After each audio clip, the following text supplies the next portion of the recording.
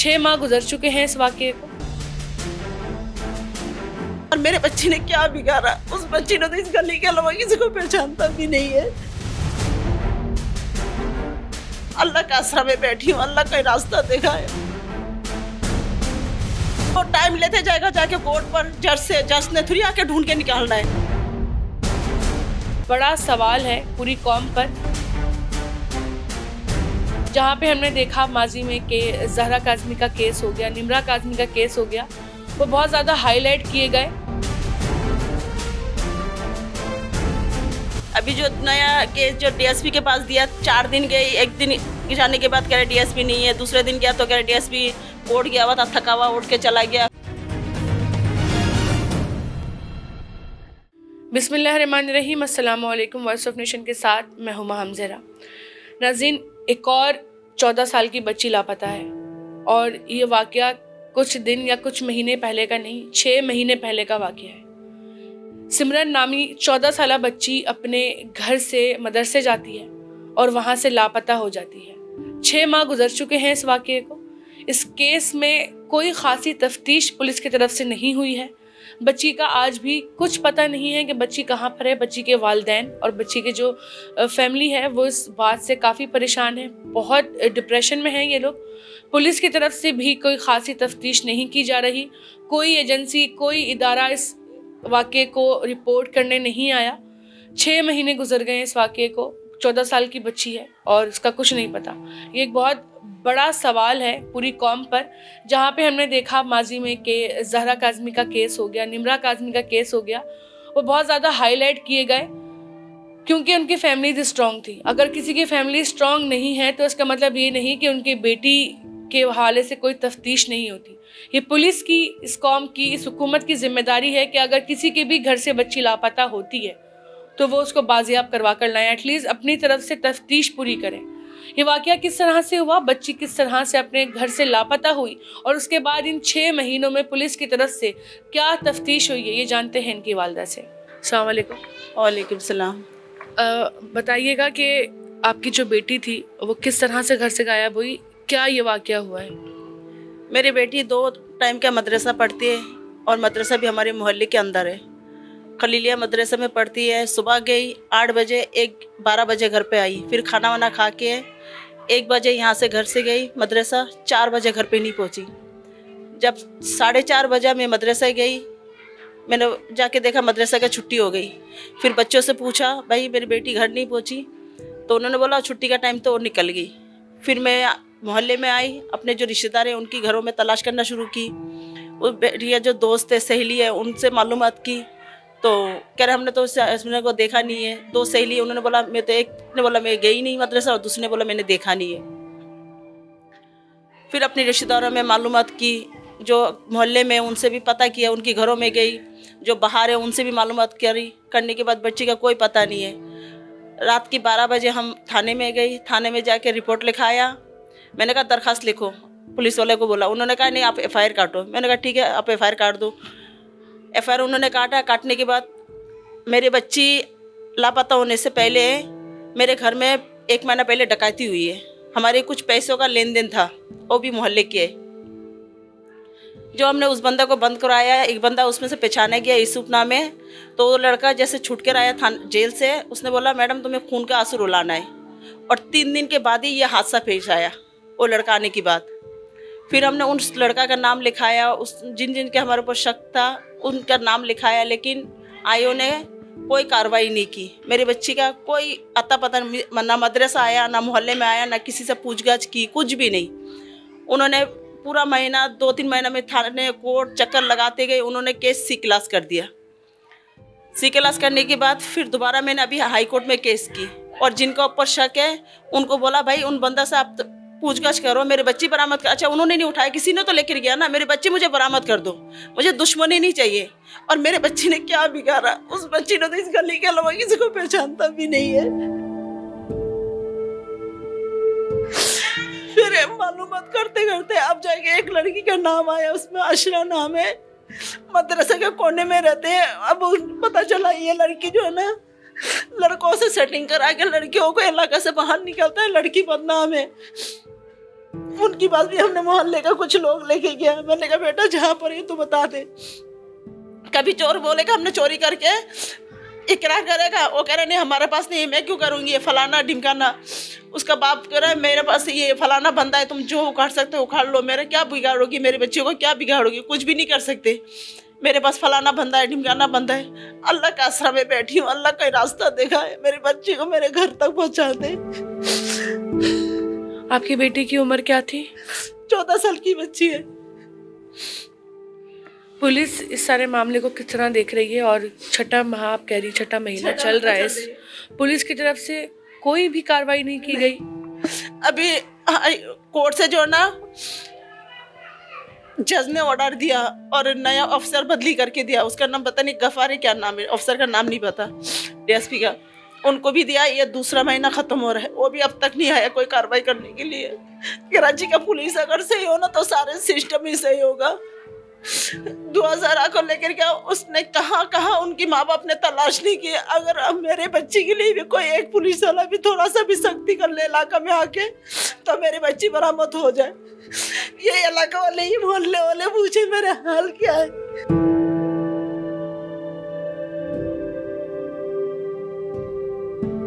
हैरत की बात है नाजरीन के छः महीने हो गए और पुलिस की तरफ़ से कोई कार्रवाई नहीं की गई। इवन के इनको जिन लोगों पर शक है, उनसे भी पूछ गश्त नहीं की गई, कोई इंक्वायरी नहीं की गई इस हवाले से। इस वाक्य को अगर हम लोग देखें तो उसमें सरासर जो गलती नज़र आती है वो पुलिस की है, क्योंकि जब माँ बाप अपने मुँह से वो बंदे, जो लोग जिनका नाम बताया जा रहा है, जिनके बारे में बता रहे हैं, जिन पे शक ज़ाहिर कर रहे हैं तो एटलीस्ट पुलिस को जो है वो अपनी तरफ़ से पूरी कोशिश करनी चाहिए। ज़रूरी नहीं है कि अगर आप गरीब हो या अमीर हो, उससे फ़र्क नहीं पड़ता। बच्चियाँ सबकी होती हैं। अगर घर से कोई भी बच्ची गायब हो रही है तो ये पुलिस का फ़र्ज़ है कि वो अपने फ़राइज़ प्रॉपर तरीके से अंजाम दे। किसी केस को लाइट और किसी केस को जो है वो हाई प्रोफ़ाइल केस ना समझे। ये बताइए कि आप पुलिस से मुस्तकिल ताउन में है? पुलिस अभी कोई ताउन में नहीं है हमारे साथ। हमने लेंजर वाले को अभी जो हाई कोर्ट में केस किया वकील ने लेंजर वाला को पार्टी बनाया सिंध गवर्नर को पता नहीं किस किस को पार्टी बनाया। परसों पेशी था, तीन तारीख को कोर्ट पे गई, उन्होंने और टाइम मांगा मजीद। मैंने कहा, ये टाइम मांगने से क्या होगा? पहले छः महीना गुजर गया और उन्होंने छः हफ़्ते का टाइम मांगा, इस तरह तो साल गुजर जाएगा। ना यहाँ पर इलाका में आ रहे हैं, ना बच्ची को तलाश कर रहे हैं। बच्ची को तलाश करेगा तो मिलेगा ना। वो टाइम लेते जाएगा जाके कोर्ट पर जज से जज ने थोड़ी आके ढूंढ के निकालना है। निकालना तो पुलिस वाला है ना। डेंजर वाला है ये लोग निकाल सकते हैं। हम तो कहाँ कहाँ जाके नहीं देखा। जहाँ तक हमें थोड़ा इन्फॉर्मेशन मिला है उन लोग वो लोग जाके उनके ऊपर थोड़ा प्रेशर दे तब भी काम आगे हो सकता है। ना अच्छा, वक्त क्या था जिस वक्त बच्ची अगवा हुई थी? मदरसा से छुट्टी हुई चार बजे साढ़े तीन बजे छुट्टी होता है जो बच्चों का इतना लश होता है ना निकलते निकालते चार बजते हैं वहाँ पर। चार बजे का टाइम था, इतर वाला दिन दिन थे। चार बजे मेरी बच्ची लापता हुई। और मदरसा से दो, कुछ बच्चे का कहना है रोड पार करके सामने गई, उसने जमेटी बॉक्स खरीदने के लिए। फिर हमने उस दुकान तक गया। उस दुकान वाले बोला हाँ मेरे से लेकर गया बच्ची जमेटी बॉक्स और लेने के बाद किस तरफ़ गया, ये मैंने नहीं देखा। कह रहे, मेरे कस्टमर मैं कस्टमर की तरफ़ थोड़ी देखूँगी, मेरे और भी कस्टमर था। अब उस बेचारे को कुछ बोल भी नहीं सकते, वो दुकानदार है। इलाका मकीनों ने किसी तरह की कोई एक्टिविटी नहीं देखी बच्ची को किसी को ले जाते हुए? नहीं नहीं। किसी ने इस तरह का कोई वाक्य नहीं देखा। बच्ची के पास कोई फ़ोन था उसका जाती? नहीं मोबाइल नहीं है उसके पास। मोबाइल बिल्कुल घर का मोबाइल भी कोई नहीं। घर का मोबाइल मेरे वाला मोबाइल ही इस्तेमाल करता था एक आध गेम खेलना होता था तो गेम खेल के हमारे सामने खेले और उसी वक्त रख दे। पुलिस ने आपके मोबाइल का सीडीआर चेक किया है? उनको सारे नंबर दिया उन्होंने सीडीआर चेक किया कि नहीं किया ये भी नहीं पता। अभी आप पुलिस से रबते में हैं, इस पूरे वाक़े के इतने दिनों बाद भी हैं रबते में? अभी जो नया केस जो डीएसपी के पास दिया, चार दिन गए एक दिन जाने के बाद कह रहे डीएसपी नहीं है, दूसरे दिन गया तो कह रहे डीएसपी कोर्ट गया हुआ था, थका हुआ उठ के चला गया, फिर गया, कह रहा आज भी नहीं आया। अब इतने दूर से किराए भरा करके जाओ और वहाँ पर जाके मिले नहीं साहब। फिर उनके आई से बोला, मैंने कहा, भाई, आप अपना नंबर दो। कह रहे, नहीं, हमारी इजाज़त नहीं है, नंबर दो। तो मैंने कहा, इतना दूर आती हूँ, आने के बाद पता चलता है, आप लोग साफ़ होता नहीं है तो फ़ायदा क्या है आने का? बंदा घर में बैठ के फ़ोन तो कर ले, फ़ोन में कॉल में बात हो जाए, भाई, साहब है तो आके मिलो उनसे। नहीं है तो और हफ़्ता इतवार उनका छुट्टी होता है। पाँच दिन होता है उनके टाइम और पाँच दिन के अंदर कौन सा दिन बैठता है, कौन सा दिन नहीं बैठता, ये भी नहीं पता। अच्छा मुझे ये बताएँ बच्ची के अगवा होने के बाद आपको किसी भी किस्म की कोई कॉल मौसू हुई है जिसमें आपको कोई धमकियाँ दी गई हो या कोई अननाउन नंबर से आपको कुछ अजीब किस्म की कॉल आई हो? धमकियाँ तो नहीं आई लेकिन कई कॉल आया जो फ़ोन करूँ हेलो करूँ उसके बाद बात नहीं करते थे आवाज़ नहीं आता था मैंने उनको भी पुलिस वाला को भी दिया ये नंबर मैंने कहा इस नंबर से फ़ोन आता था लेकिन कोई बात नहीं करते। दो तीन नंबर ऐसे आया उसके बाद से तो नंबर भी नहीं आ रहे। जिन लोगों पे आपको शक है पुलिस वालों ने उनसे किसी भी किस्म की पूछगछ करी है? उनमें से मैंने एक बंदा उठाया। उठाने के बाद उन्होंने जमानत पर बाहर निकाला है। और उसके बाद कोई पूछगछ नहीं कर रहे सारे बंदा जमानत पर जमानत पर जो बंदा है उनके ऊपर हम हाथ नहीं डाल सकते। और जिस लड़की का आप ज़िक्र कर रही हैं उस उससे कोई बात करी लड़की अभी नहीं निकला है एक दो महीना हुआ इस बात का तो हम खुद अपनी तरफ़ से जो ना पहले तकीकात करते क्योंकि बेगुनाह लोग जो ना मैं नहीं चाहती किसी को तकलीफ़ दूँ। पहले हम खुद गए मैंने खुद जाके बात की, ये लड़की मान नहीं रही, फिर हमारे मोहल्ले से कुछ बुज़ुर्गों भेजा, उनसे भी नहीं हुआ। फिर अभी कह रहा मेरे मेरे को फिर तो आगे जाना है। जब मोहल्ले वाले का नहीं सुन रहा है, मेरे मेरे नहीं सुना, मोहल्ले वाले का नहीं सुना तो आगे तो मेरे को जाना है। मेरे, मुझे तो मेरे बच्ची से मतलब है। मेरे बच्चे मुझे मिल जाए, मेरे किसी से दुश्मनी है। खुदा की कसम, मेरे बच्चे अभी आ जाए ना, मैं कुरान पर हाथ रख के कहती हूँ, कुरान को अपने सीने से लगा के कहती हूँ, किसी के साथ मैं कोई दुश्मनी नहीं लेना चाहती। मेरी बच्ची मेरे घर तक आ जाए। हमने क्लब में भी गई वहाँ पर भी जाके हमने दंगल लगाई वहाँ पर भी जाके हमने जलसा लिया उसमें भी कोई रिज़ल्ट नहीं आया। पंद्रह अखबारों में दी मतलब कहीं ना कहीं से तो रब्ता हो जाए। फेसबुक में शरा मेरे बच्ची का तस्वीर टिकटॉक में दिया इक्का चैनल में दिया कहीं से भी कहीं रब्ता नहीं है। बच्ची के वालिद हैं? जी हाँ वो भी है। अच्छा मुझे आप ये बताएँ कि लोग अक्सर जो इस तरह की वाक़ात होते हैं उसको इस नज़र से देखते हैं कि बच्ची अगर चौदह साल की थी या उससे बड़ी थी तो वो बच्ची ज़्यादातर केसेस में ये देखा गया और लोग इस, लोगों का मानना भी यही है कि बच्ची अपनी मर्ज़ी से घर से गई होगी। तो आप माँ हैं, ज़ाहिर है आप एक छत के नीचे उसके साथ रहती थी। कभी आपने कोई ऐसी चीज़ नोटिस करी जिससे थोड़ा सा भी आपको शक इस बात पर गया कि बच्ची अपने घर अपने मर्ज़ी से घर से गई है?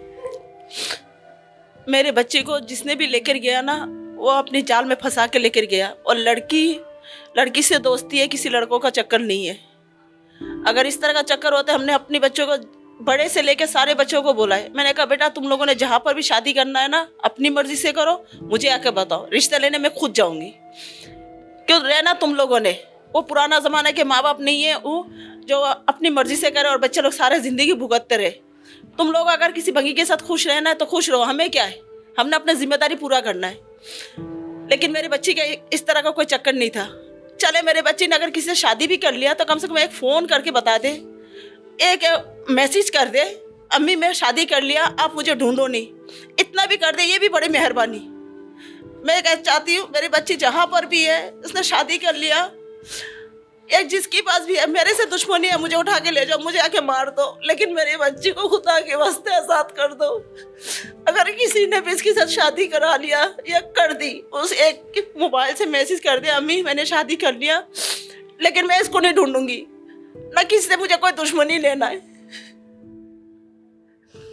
मैं तमाम देखने वालों से इस वक्त की गुजारिश करती हूँ कि ज़रूरी नहीं है कि बड़े घर की या पावरफुल फैमिली की जो बेटियाँ होती हैं, उनका ही साथ दिया जाए। जैसे जहरा काजमी का केस देखा हमने माजी में। तो पूरा कौम पूरी कौम, पूरा मुल्क, हर कोई उस बच्ची के साथ खड़ा हो गया, उसके माँ बाप के साथ खड़ा हो गया, और बच्ची को किसी भी तरह से बाजियाब करवा के लिया है।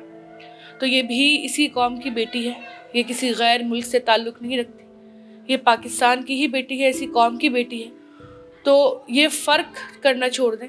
और पिछले छः महीने से बच्ची गायब है और किसी ने किसी तरह की कोई सपोर्ट नहीं करी। सबसे बड़ा सवाल निशान जो है वो ये है कि छः महीने गुजर गए और कोई पूछने वाला नहीं है कि वो बच्ची इस वक्त कहाँ पर है, ज़िंदा है कि नहीं। किसी को इस बात की खबर नहीं है। मैं ये इस प्लेटफॉर्म से वॉइस ऑफ़ नेशन के प्लेटफॉर्म से सबको ये बोलना चाहती हूँ कि अगर बच्ची अपनी मर्ज़ी से भी गई है तो एटलीस्ट माँ बाप को इन्फॉर्म कर दें। ताकि वो सुकून की सांस ले सकें और रातों की नींदें उनकी हराम ना हो।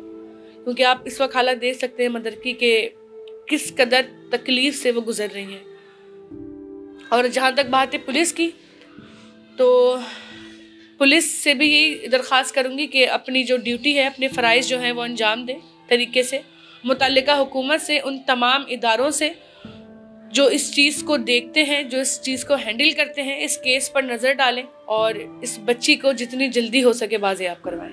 वॉइस ऑफ़ नेशन की वीडियोस देखने के लिए हमारा चैनल सब्सक्राइब कीजिए और बेल के आइकॉन पर क्लिक कीजिए, ताकि आप हमारी तमाम आने वाली वीडियो से बाखबर रह सकें।